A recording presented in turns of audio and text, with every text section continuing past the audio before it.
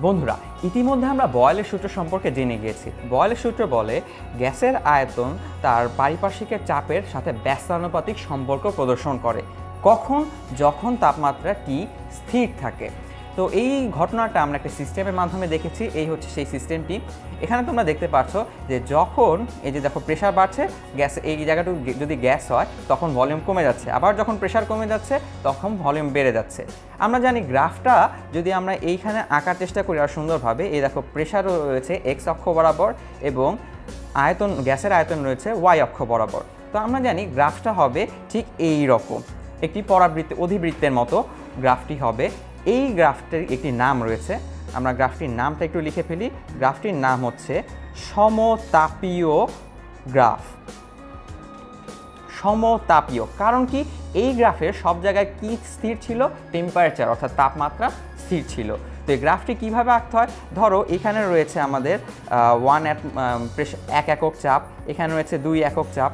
তাহলে যখন এক একক ছিল, আমরা দেখতে পাচ্ছি তখন গ্যাসের আয়তন ছিল ধরো দুই একক।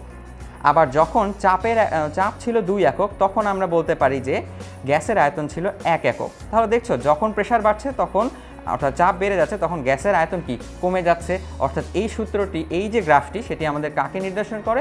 অবশ্যই বয়েলের সূত্রকে নির্দেশ করে। কিন্তু প্রশ্ন রয়ে গেল যে, এই গ্রাফ কি শুধু এরকমই হতে পারে, নাকি অন্য কোনোভাবে আঁকা যেতে পারে? চলো একটু দেখে নিই। এখানে দেখছ আমরা দুটি গ্রাফের পজিশন তৈরি করেছি। এখানে আমরা দেখতে পাচ্ছি যে এখানে রয়েছে এক্স অক্ষ বরাবর ওয়ান বাই পি আবার ওয়াই অক্ষ বরাবর রয়েছে ভি অর্থাৎ ওয়ান বাই পি আর ভি রয়েছে। এখন দেখার বিষয় যে এই গ্রাফটি কী হবে? সে আগের মতো এরকম অধিবৃত্তাকার হবে নাকি অন্য কিছু হবে? একটু চিন্তা করে দেখো তো, ভিডিওটি পজ করো এবং তোমার মতামতটি কমেন্টে জানিয়ে দাও।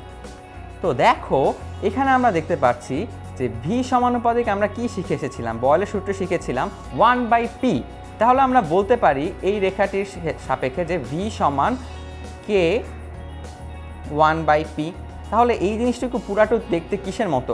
ওয়াই ইকলস টু এম এক্সের মতো না? তাহলে দেখো, যদি এটা ওয়াই ইকলস টু এম এক্সের মতো হয়ে থাকে, তাহলে গ্রাফটি কীরকম হওয়া উচিত? মূলবিন্দুগামী সরলরেখা। তাহলে এই গ্রাফটি অ্যাকচুয়ালি হবে ঠিক মূলবিন্দুগামী একটি সরলরেখার মতো।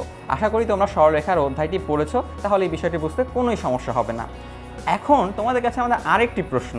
সেটা হচ্ছে যে এই বরাবর যদি এক্স অক্ষ বরাবর যদি শুধু চাপ থাকে এবং ওয়াই অক্ষ বরাবর যদি শুধু পি এবং ভি থাকে, অর্থাৎ প্রেশার এবং ভলিউম আয়তন এবং চাপের গুণফল থাকে, তাহলে গ্রাফটা কীরকম হবে?